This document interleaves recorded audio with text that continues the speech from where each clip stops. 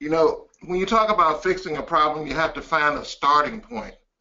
The property damage in Baltimore got a lot of attention, far more than the police murder of a young man whose fatal mistake seems to have, that brought him into contact with the police seems to have been that he made eye contact. The obvious question to answer to the question of how do we stop property damage and restore order would seem to be stop killing young people. On the other hand, however, if we've ever seen The Wire, we know that Baltimore's problem did not start with the police killing of Freddie Gray. We have to go back to police and National Guard responding to the protests following the murder of Martin Luther King, to the rapid deindustrialization of this port city of Baltimore. We have to go even further back to the Jim Crow past that followed the kidnapping, breeding, and sale of black bodies after the murder and theft of the original inhabitants of this land. To solve a problem, we'd have to go back if we want to truly understand the world that we live in and how we got to be in this world and what we can do to fix it. This is indeed a story of criminal behavior. But when we go back far enough, it's not just petty criminal behavior of young people left idle by a failed education system and a failed economy.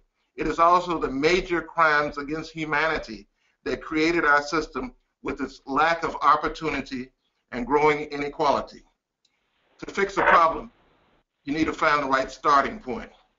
To get out of this mess, we have to build a new economy that is predicated on the inherent value, dignity, and productive potential of people. The basis of this new economy must be people's capacity to creatively meet their own human needs and constantly elevate the quality of life and community when the surplus that they produce remains in their community rather than being extracted and accumulated by forces who hold their community in complete contempt and who only view people as instruments for producing and maximizing profit. This new economy would be built on principles of democratic ownership and democratic control of economic enterprises leading to the democratization of the wealth in our communities, putting it that wealth at the disposal of, by, and for the people.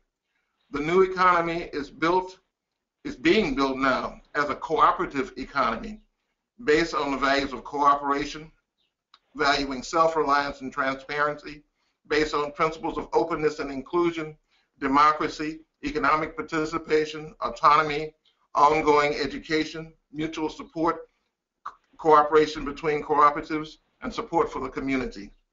Mondragon sets an international example of this type of cooperative economy, along with the Emilia-Romagna region in Italy, the solidarity cooperatives that are emerging in Quebec, Canada, the robust cooperatives in Puerto Rico, where there's even a movement to build cooperatives within the prison system so that young people can get a real start on life and coming back and not going back into prison there's an inspiring, all of this is inspiring the cooperative movement that's developing here in the United States.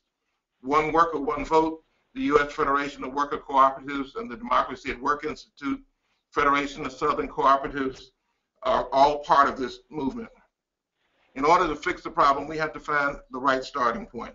Right now, we in the Southern Grassroots Economies Project are working to build this new economy, building the Southern Reparations Loan Fund, to help with the financing of grassroots democratic enterprises that are rooted in community, owned collectively by the community, controlled democratically by the community, and where the profits of successful enterprises remain in the community to further expand the community's ability to meet its own needs.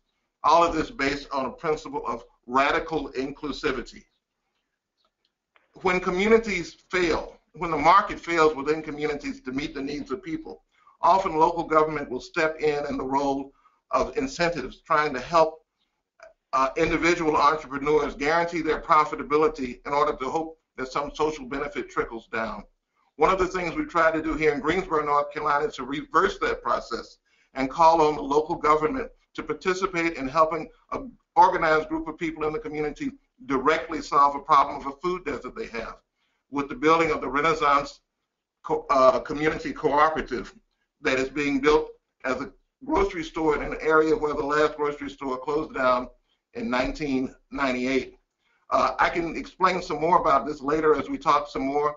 We think it's an important effort that needs to grow across the country that this approach of helping communities to help themselves through cooperative development of economics that is democratically owned and democratically controlled is the basis for an incredible transformation and shift in ownership that will ultimately make a lot of difference in places like Baltimore and all across the country. Thank you very much. Thank you, Ed. Thank you, Ed.